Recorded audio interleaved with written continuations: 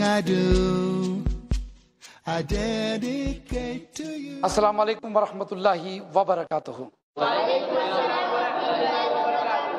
आज के इस सबक में इन हम अल्लाह के रसूल सल्लल्लाहु अलैहि वसल्लम की इतात और इतबा के बारे में तस्करा करेंगे नाजरीन ये छोटी सी क्लास लेकिन एक बहुत बड़ी क्लास कैमरे के पीछे है जो मेरे ऑडियंस जो मेरे व्यूअर्स हैं और कई एपिसोड्स हमारे देखे, कई क्लासरूम में मेरे कई दर्स आप लोग ने अटेंड किए अब तक।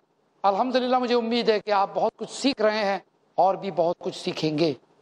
आज का सबक, अल्लाह के रसूल सल्लल्लाहु अलैहि वसल्लम की फर्मा बदारी और इतात दो इम्पोर्टेंट टर्म पहले हम समझ लें।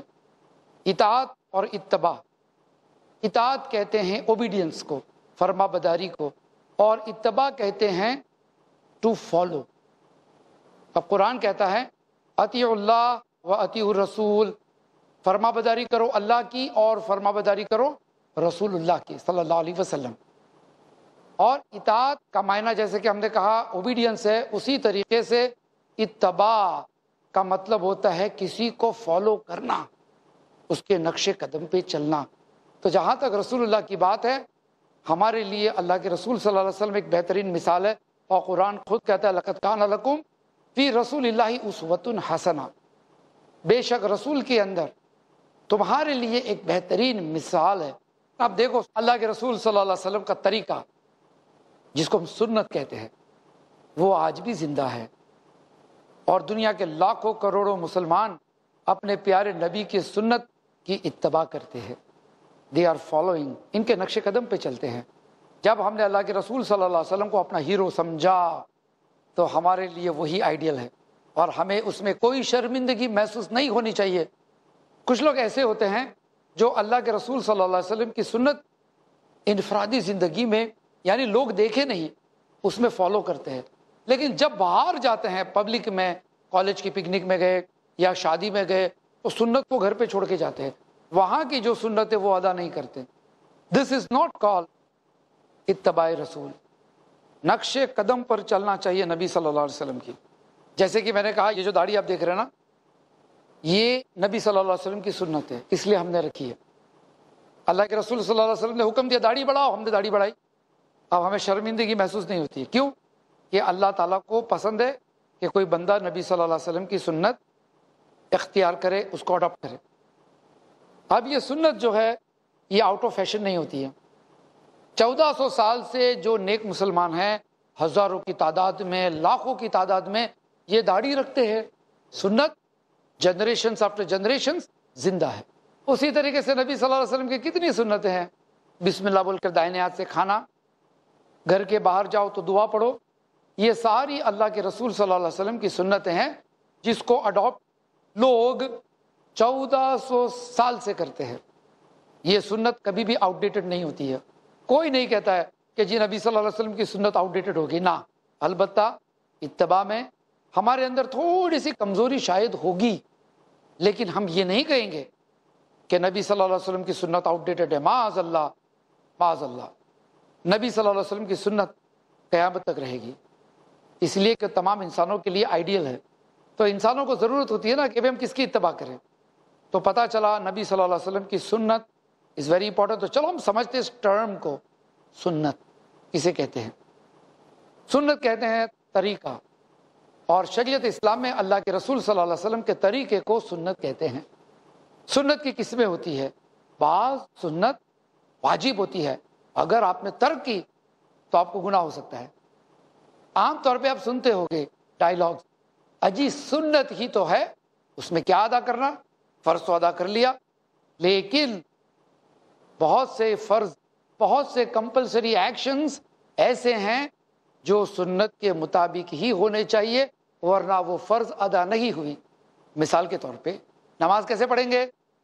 तो हमने अल्लाह के रसूल का तरीका देखा। यानी नबी की सुन्नत ये है, सल्लल्लाहु अलैहि वसल्लम, कि फ़र्ज़ नमाज़ ऐसी पढ़ी जाए। तो nobody should underestimate सुन्नत। समझिए? चाहे आप डॉक्टर बनो, चाहे आप इंजीनियर बनो, चाहे आप एमबीए बनो, या कोई बिजनेसमैन बनो लेकिन नबी सल्लल्लाहु अलैहि वसल्लम की सुन्नत ज़िंदगी में होनी चाहिए। ये दाढ़ी है ना, ये सुन्नत है। लेकिन ये कितनी इंपॉर्टेंट सुन्नत है पता है? आपने अगर दाढ़ी रखी अल्लाह ताला को खुश करने के लिए, नबी सल्लल्लाहु अलैहि वसल्लम की सुन्नत पर अमल करने के लिए तो ये दाढ़ी आपके साथ 24 घंटे रहती है। कितनी? 24 घंटे। यानी ये वो सुन्नत है, आप सो गए तो भी आप सुन्नत फॉलो कर रहे हैं, आपको सवाब मिल रहा है। ऐसा तो है नहीं कि आपने दाढ़ी निकाल दी, फिर सवेरे उठे तो दाढ़ी पहन ली। ये तो ऐसे ही साथ में रहती है। 24 घंटा। आप सोचिए 24 घंटा आप नबी सल्लल्लाहु अलैहि वसल्लम की सुन्नत पे अमल कर रहे हैं। 24 फोर आवर्स। कितनी नेकी का काम है। अब आप देखिए, जैसे कि मैंने कहा, बाज सुन्नत वाजिब होती है। जब अल्लाह के रसूल सल्लल्लाहु अलैहि वसल्लम का हुक्म होता है तो हमें उसकी इतबा करनी चाहिए। उसकी इतात करनी चाहिए। उसके क्या फ़ायदे, आप जानते हो? सुन्नत के ज़रिए मुस्लिम्स यूनाइटेड हो जाते हैं। जैसे कि अल्लाह ताला फरमाते अतील्ला व रसूल वउलमर मिनकुम फ़ैन तनाज़ा तुम फ़िशन फ़रुद्दुल्ला व रसूल। अल्लाह की इतात करो, अपने नबी की इतात करो, और तुम्हारे जो अथॉरिटीज़ है, उनकी भी इतबा करो। लेकिन फ़ैन तनाज़ा तुम फ़िशई और अगर आपस में किसी चीज़ का इख्तलाफ हो गया डिफरेंस ऑफ़ ओपिनियन हो गया फ़रुद्दुल्ला व रसूल तो रुजू हो जाओ रिफर टू अल्लाह इन इस मैसेंजर यानी कुरान क्या कहता है? और हदीस क्या कहती है? सुन्नत क्या कहती है? यानी कोई मुसलमान अगर यूनाइटेड होना चाहता है, अपने कम्युनिटी के साथ, उसे चाहिए सुन्नत के ज़रिए यूनाइट हो सकता है। सुन्नत के इतने सारे फवाद कुरान के अंदर है, जिसने नबी की फरमाबदारी की, उसने अल्लाह की फरमाबदारी की। If you obeyed the prophet वसल्लम then you have obeyed Allah क्या बात है? क्यों ऐसा? इसलिए कि जो नबी की सुन्नत है ना, इसने इस्लाम को अभी तक महफूज रखा है, हिफाजत में रखा है। आज जो हम देखते हैं ना, इस्लाम को हमारे आसपास 1400 साल के बाद भी न कुरान बदला है और मोहम्मद सल्लल्लाहु अलैहि वसल्लम की सुन्नत भी अभी तक ज़िंदा है। वो इसीलिए है कि अल्लाह ताला ने इस सुन्नत के ज़रिए मुसलमानों के अंदर एक शौक़ पैदा किया और वो सुन्नत के मुताबिक चल कर कुरान को ज़िंदा रखते हैं। कुरान की तालीम पे अमल कैसा करना, ये आपको सुन्नत सिखाती है। तो you should not underestimate सुन्नत। नबी सल्लल्लाहु अलैहि वसल्लम की सुन्नतों को अंडर एस्टिमेट नहीं करना चाहिए अंडर वैल्यू नहीं करना चाहिए। हमसे पहले की जो कौमें थी ना, इन्होंने अपने अम्बिया की सुन्नतें छोड़ दी। धीरे धीरे ये अल्लाह की किताब से भी दूर होते चले गए। आप देखो, बनी इसराइल के पास कितने अम्बिया थे। मैंने पिछले सबक में चंद अम्बिया के नाम गिनाए थे, लेकिन इन अम्बिया की सुन्नत आज इनके मानने वालों में पाई नहीं जाती है। आप देखो कि किसी भी ईसाई फ्रेंड जो क्रिश्चियन फ्रेंड होगा, आप अगर उसको पूछेंगे कि how did Jesus look like ईसा सलाम कैसे दिखते थे? तो उनका कोई डिस्क्रिप्शन नहीं पाएँगे। ईसा सलाम इबादत कैसे करते थे? आपको डिस्क्रिप्शन नहीं मिलेगा। उसी तरीके से मूसा सलाम का भी डिस्क्रिप्शन आपको यहूदियों की किताबों में नहीं मिलेगा। बनी इसराइल की किताबों में नहीं मिलेगा। अल्लाह के रसूल वसल्लम नमाज़ पढ़ते वक्त देखते थे कहाँ? और नमाज़ में इनकी कमर कैसी रहती थी? और नमाज़ में कितनी देर खड़े रहते थे? कितनी देर सजदे में रहते थे? सजदे के बीच में बैठते थे, दो सजदों के बीच में। कितना वक्फा था। ये सारी चीज़ें साहब किराम नोट करते थे ऑब्ज़र्व करते थे स्टडी करते थे और प्रिजर्व करते थे। तब जाकर आज हम कह सकते हैं कि हमारे पास, हमारे नबी की सुन्नत मौजूद है। तो ये साहब किराम की कुर्बानी थी कि मोहम्मद वसल्लम की सुन्नतों पर ये अमल करते थे, लपक के। यानी इनको अगर पता चलता कि अल्लाह के रसूल की सुन्नत है तो ये पूछते नहीं थे कि ये वाजिब है इज़ इट कंपल्सरी और नॉट जैसे उन्हें पता चला कि ये नबी अलैहि वसल्लम की सुन्नत है, समझना, वाताना, हमने सुना और हमने माना। इंस्टेंट ओबीडियंस ऐसे नहीं कि मैं कल से होगा मैं परसों से शुरू करूँगा। हम कहते ना किसी को, नमाज़ पढ़ना क्यों शुरू नहीं किया अब तक? मैं कल से करूँगा, मैं परसों से करूँगा इन किसी बहन से आप पूछते आप हिजाब क्यों नहीं करते? इन थोड़े दिन के बाद करूँगे। लेकिन अल्लाह और उसके रसूल की फरमाबदारी में आप ऐसा नहीं कह सकते इनशाला इनशाला आपको समय ना वाताना हमने सुना और हमने माना। यही तो ईमान की निशानी है। This shows that you are a strong Muslim तो नबी सल्लल्लाहु अलैहि वसल्लम की सुन्नत, यानी नबी सल्लल्लाहु अलैहि वसल्लम को आइडियल समझना, उनकी सुन्नतों के ऊपर अमल करना, ये सोचना कि ये हमारे लिए बहुत ही प्यारी चीज़ है, बहुत ही फ़ायदे वाली चीज़ है। जब आपका दिल इस बात को मानेगा तो आपके अंदर से इंफीरियोरिटी कॉम्प्लेक्स चली जाएगी। खुशगवार ज़िंदगी गुजारने की तमन्ना हर दिल में होती है। लेकिन सब नहीं जानते कैसे गुजारी जाती है खुशगवार ज़िंदगी। खुशगवार ज़िंदगी के उसूल जानिए। शेख रजाउल्लाह अब्दुल करीम मदनी से आज की टेंशन भरी ज़िंदगी में अपने आप को खुश रखने के इस्लामी उसूल, हर बुध रात साढ़े आठ बजे। सिर्फ़ आई प्लस टीवी पर, बेहतर ज़िंदगी के लिए। कौन है जो ये जानने का शौक नहीं रखता है कि कल क्या था और पिछले जमानों के हालात क्या थे? तारीख से हमको क्या मिलेगा? तारीख हमें क्या देगी? और हमें तारीख को क्या देना होगा? तारीख के झरोखों से। जानिए, शेख मोहम्मद मुस्तफ़ा मदनी से हर मंगल दोपहर तीन बजे और रात नौ बजे। सिर्फ़ आई प्लस टीवी पर बेहतर ज़िंदगी के लिए। अल्लाह सुबहानहू व तआला के अस्माए हुस्ना। जानिए शेख नूरुल हसन मदनी के साथ अल्लाह ताला के मुबारक पाक नामों और सिफात की खुसूसियात हर सनीचर रात आठ बजे। सिर्फ़ आई प्लस टीवी पर बेहतर ज़िंदगी के लिए। इंसान की ज़िंदगी में तबाही मचाने वाले, इंसान को दहकती हुई आग में दाखिल कर देने वाले, इंसान को अल्लाह की रहमत से दूर कर देने वाले इंसान के दिल को जंग आलूद कर देने वाले। वो गुनाह जिन्हें मामूली समझा गया है। वो गुनाह जिन्हें मामूली समझा गया। जानिए शेख सुहेल रहमानी से। हर जुमेरात दोपहर ढाई बजे और रात साढ़े आठ बजे। सिर्फ़ आई प्लस टीवी पर बेहतर ज़िंदगी के लिए।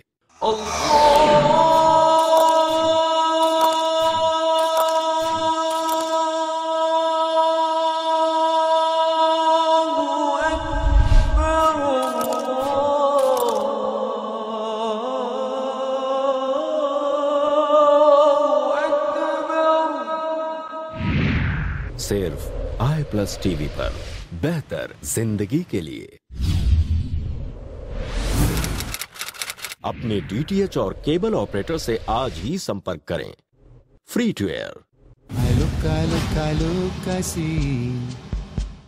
नबी सल्लल्लाहु वसल्लम को आइडियल समझना, उनकी सुन्नतों के ऊपर अमल करना, ये सोचना कि ये हमारे लिए बहुत ही प्यारी चीज़ है, बहुत ही फ़ायदे वाली चीज़ है, जब आपका दिल इस बात को मानेगा तो आपके अंदर से इन्फीरियरिटी कॉम्प्लेक्स चली जाएगी। साहबा किराम के अंदर ये बात थी। इसीलिए यू नो ये वर शेपर्ड्स अक्सर तबका गरीब तबका था।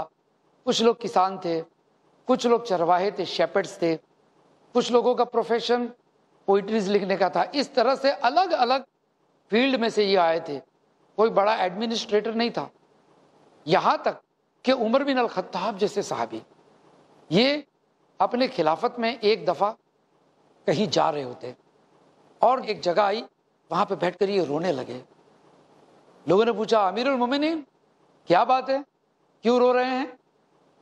तो कहा कि किसी ज़माने में जब मैं नौजवान था, टीनेजर था आपकी तरफ़ तो मेरे अब्बा कहते थे, उमर, ज़िंदगी में क्या करेगा?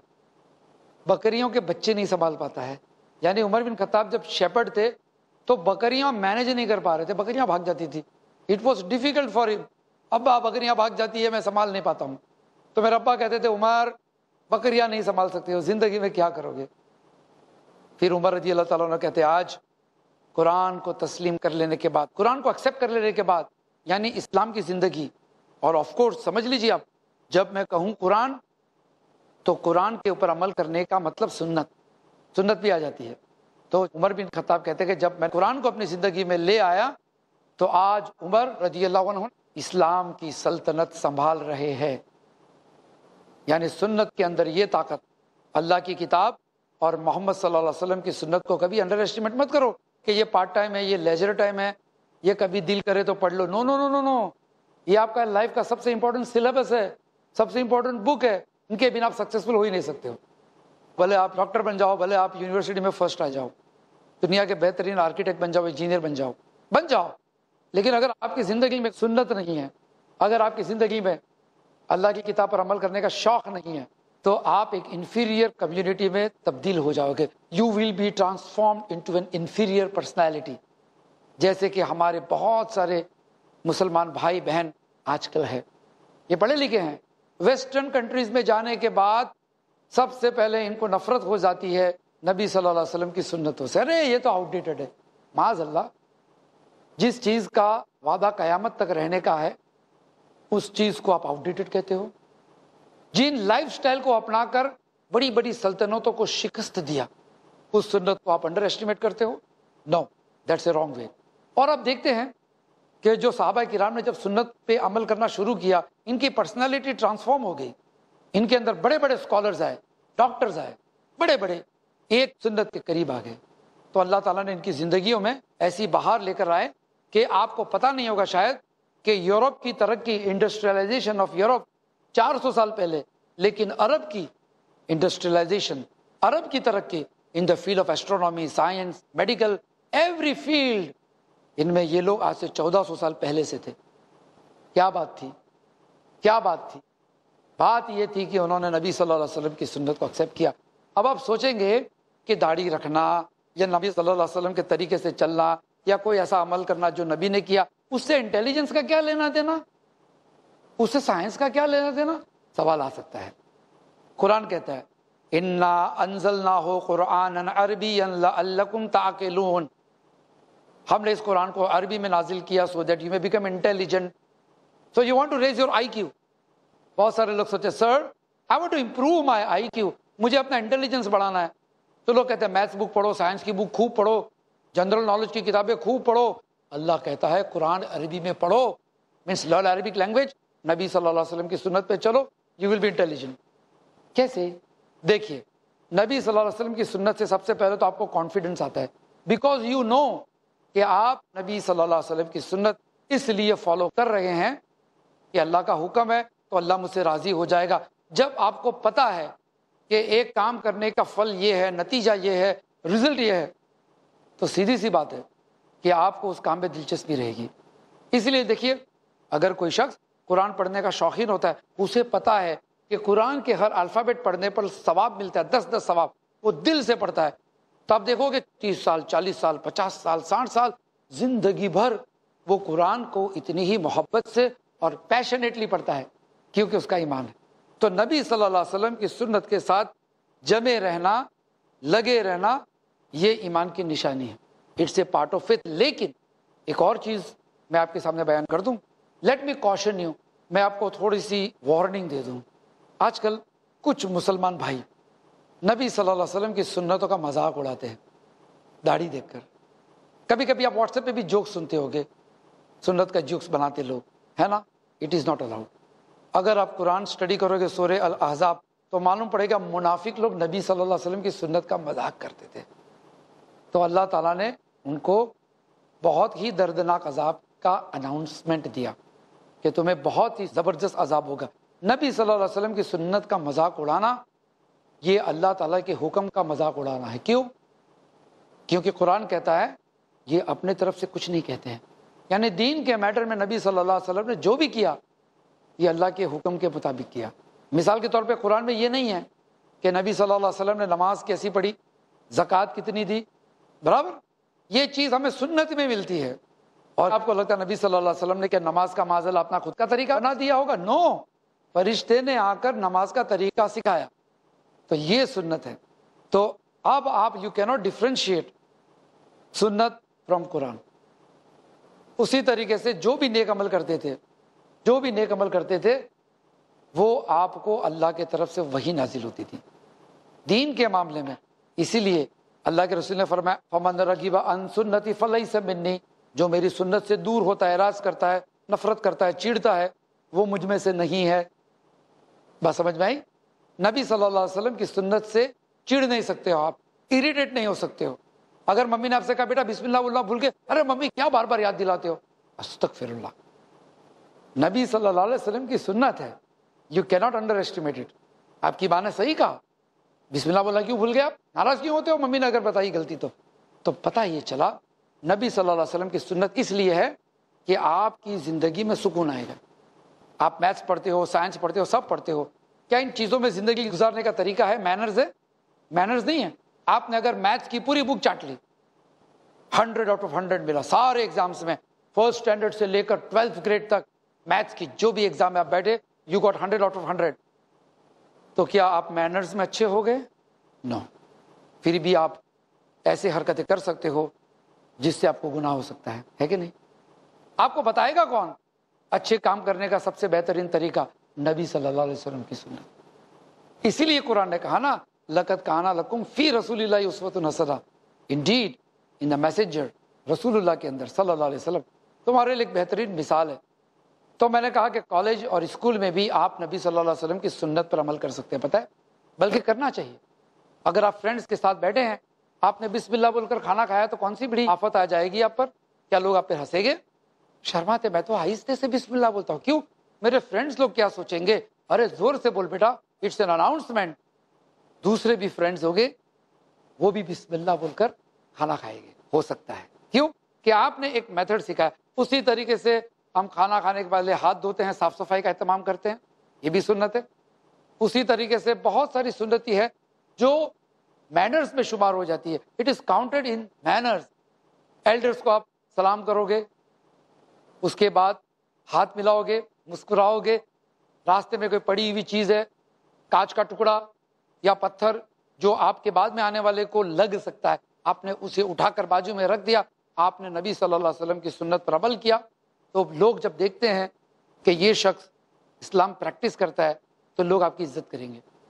आप ये मत सोचो कि सुन्नत पर अमल करने से लोग हमको जलील समझेंगे नहीं, इज़्ज़त अल्लाह की तरफ़ से आती है।